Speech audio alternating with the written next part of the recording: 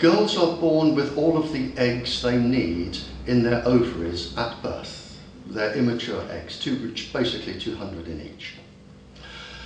Now, if you're sitting with a transmitter in your lap, and that transmitter is transmitting through your ovaries, and the microwaves are genotoxic, there is a possibility that the microwaves can affect the genetic structure within the eggs.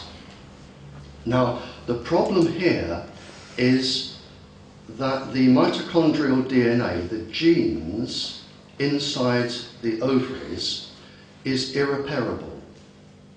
So if you have a little girl who damages through this mechanism the genetic structure in one of her eggs, and she has a daughter, that daughter will carry that genetic problem. It is irreparable. And her daughter will carry that genetic problem because it's irreparable.